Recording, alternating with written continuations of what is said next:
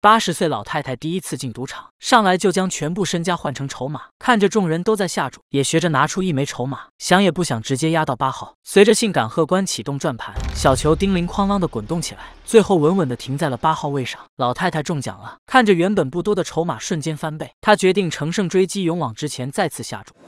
哎，没想到的是，她居然又中了。看着手边疯涨的筹码，老太太决定要玩就玩大的，直接推出所有筹码梭哈。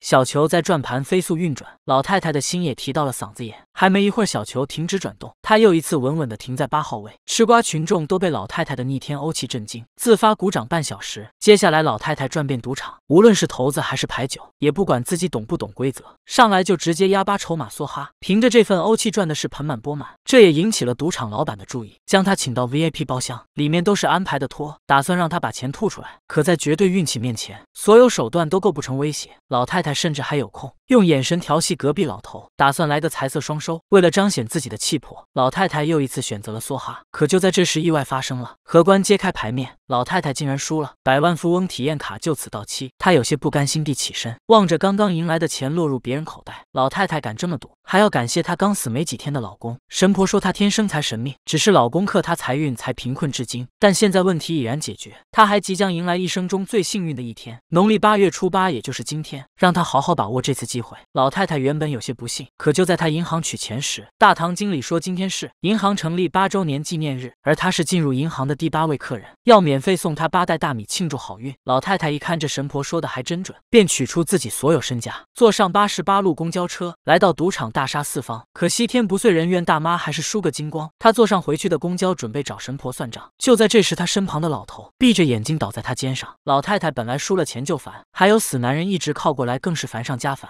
老太太把他推回去，却发现他的脸色有些不对。他颤颤巍巍的伸出手指试探鼻息，瞬间吓了一大跳。怎么这死男人真的是死的呀？老太太想叫司机来处理，可这时遇到个急转弯，一个包裹就正好掉在他身上。他小心翼翼的打开，里面竟然装着上百万的现金。他依稀记得这好像就是老头的包。老头脖子上的纹身透露出这笔钱的来路。他看了看老头，又看了看钱，纠结了一会儿，最终还是把这个包带回了家。仔细一数，才知道包里足足有五百万美金。第二天开始，老太太就像变了个人般，开启了野性消费模式，什么龙虾、海参、鲍鱼批发买，什么猫山王榴莲成箱买，总之所有见过的没见过的，老太太绝不砍价，统统拿下。可还没等她花的尽兴，两个黑帮小混混就上门来，他们自称是斧头帮的手下，让老太太把钱全部交出来。钱还没捂热，怎么可能交出去？她一顿装傻充愣，坚决否认自己拿了钱。两个小混混见软的不行，就要来硬的，上来就要搜老太太的身。老太太没办法，只能使出绝招。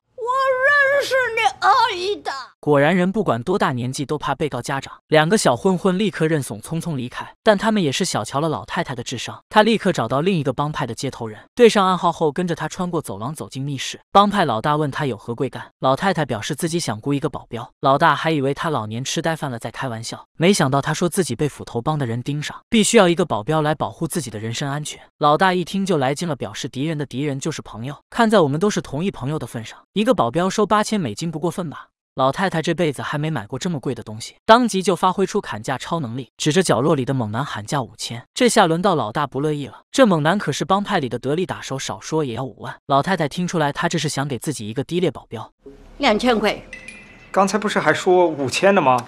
五千块是他呀，一分钱一分货。最后，老太太以两千美金雇佣了呆头呆脑的大壮作为她的贴身保镖。两个小混混忌惮大壮的体型，不敢轻举妄动。可就在这天，老太太在理发店烫头，大壮口喝出门买杯奶茶。没想到大壮刚一离开，小混混就进到理发店，抓起他的烫头机器，就对着老太太一顿恐吓。大壮回来刚好看到这一幕，小混混见没得躲了，掏出匕首准备硬碰硬。细狗小混混哪里是大壮的对手？大壮一手一个小混混，打得他们屁滚尿流的跑出理发店。这天之后，老太太变得更加依赖大壮，不允许大壮离开她半步，喝茶、吃饭、看电视都要粘在一起，甚至连洗澡都要大壮守在门外。可就是这要巧，这天在老太太洗澡时，大壮接到了家里的电话，因为信号不好，大壮只能跑到屋外接听。人接电话时当真是最没防备心，两个小混混趁机袭击大壮，然后潜进了老太太家里，在客厅房间里一通乱翻，发出的声音生怕老太太太听不见似的。老太太察觉到异动，就躲在门后暗中观察，接着趁他们不注意，来到厨房抄起平底锅，再悄咪咪的走到小混混身后。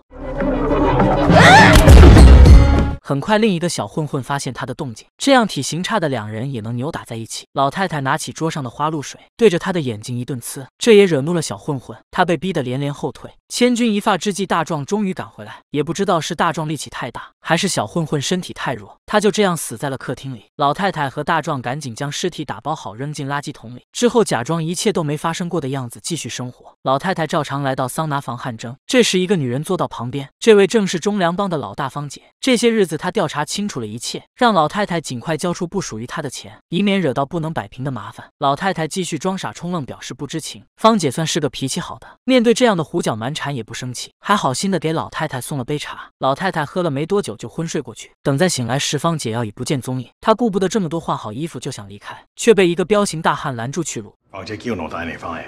老太太一听，这肯定不是什么好事，找了个上厕所的借口离开。大汉怕她跑了，紧随其后，跟进来却只看到一个裹着浴巾的白发老太。对不起。等大汉离开后，老太太才从储物柜里钻出来。她以为自己安全了，可才出虎口又入狼窝，转角遇到斧头帮的小混混。老太太迈着站都站不稳的腿，拼命逃跑。经过餐厅时，还不忘喝杯茶冷静一下。就在这时，碰到了四处寻找她的大汉。斧头帮的人在后面穷追不舍。大汉让老太太躲进一间超市，自己则拿起枪和他们拼命。几声枪响后，老太太走出来，看到的只有倒在地上的双方人马。突然，她感到一阵剧痛，低头一看，原来是自己被误伤。老太太赶紧回到家里，正想喘口气，却发现天花板上吊着一张纸，原来是斧头帮见他这样固执不化，直接绑架了他的孙子。要想孙子活命，就拿钱来赎。老太太瘫坐在地上，从米袋里拿出那五百万，准备去把孙子救回来。这时大壮回来了，看着满地的现金，立刻明白为什么他们都要追杀老太太。大壮一把夺过钱要上交给芳姐，老太太没有办法，只好装了一大包废纸钱去赎人。斧头帮的人也不是傻子，当即就要老太太打开包验货。老太太的伪装被识破，斧头帮老大发现自己被耍了，恼羞成怒，准备撕票。老太太害怕的跪在地上，只要能放过孙子，自己做牛做马都可以。老大问他八十岁了还能做牛马几年？就这时，一颗子弹击中老大，霎时间枪声四起。芳姐从硝烟中缓缓走出来，原来都是大壮通风报信的功劳。看着斧头帮被打得七零八落，老太太想趁乱救出孙子，还没等他走两步就被子弹意外击中。孙子咬开束缚他的手，冲向老太太。大壮也匆匆赶来，不顾枪林弹雨，把老太太和孙子都带到了安全地区。老太太幸运的活了下来，再次回归到平静的生活中。因为这次意外，也让固执的老太太明白，钱财都是些身外之物，有家人陪伴关心才是真正的财富。他听从儿子的意见，从唐人街搬到了闹市区，看着房间里的佛头冲着床位，指责儿子不懂风水，冲撞神佛。儿子听着他的骂声坐下，两人一起抽了支烟，彼时的不快乐就此烟消云散。